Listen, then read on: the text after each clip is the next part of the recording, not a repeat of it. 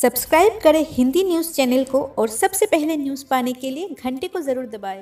ये बिल्कुल हिंडाई की नई car Hyundai grand i ten Nios Bharat में लॉन्च हो गई है।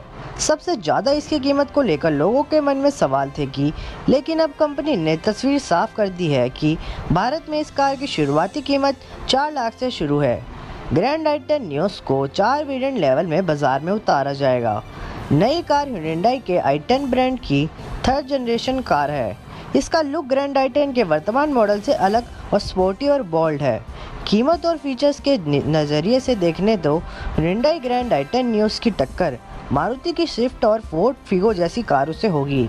हिंडाई की यह कार मेड इन इंडिया और चेन्नई स्थित प्लांट से बनाकर बाज़ार में पहुंचेगी। हिंडाई इंडिया का कहना है कि इस नई कार को मौजूदा समय में उपलब्ध ग्रैंड आइटन के साथ बेची जाएगी। यानी नई कार आने के बाद भी मार्केट में उपलब्ध ग्रैंड आइटन बंद नहीं होगी। कंपनी के मुताबिक सबसे खास बात यह है कि भारतीय बाज़ार के लिए केवल ग्रैंड आइटन के साथ नियोस जोड़ा गया है। इंटरनेशनल मार्केट में यह कार आइटन नाम से ही बेची जाएगी। लुक के मामले में नियोस का वर्तमान मॉडल ग्रैंड आइटन से काफ़ी अलग है।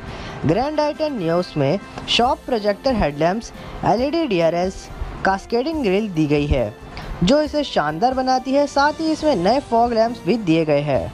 कार के पीछे की तरफ़ जोड़ा बम्पर और जो मज़बूत मॉडल के मुकाबले थोड़ा नीचे है। नीचे लंबी मोटी पट्टी और दाहिने तरफ़ वेरिएंट का बैज है। नंबर प्लेट लगाने की जगह बम्पर पर एक्स शेप वाले सी पिलर्स के ऊपर जी आई टेन लिखा है। सिनेडाई ग्रैंड आइटन न्यूज़ के छः रंगों में आएगी। Red white silver grey teal और ब्लू रंगों में उपलब्ध है। अगर माइलेज की बात करें तो पेट्रोल इंजन में मैनुअल ट्रांसमिशन के साथ ये कार 22 किलोमीटर प्रति लीटर का माइलेज दे सकती है, जबकि एमटी में 21 किलोमीटर का माइलेज दे सकती है। और डीजल इंजन का माइलेज की बात करें तो मैनुअल और एमटी में 26 किलोमीटर प्रति लीटर का माइलेज दे सकती है।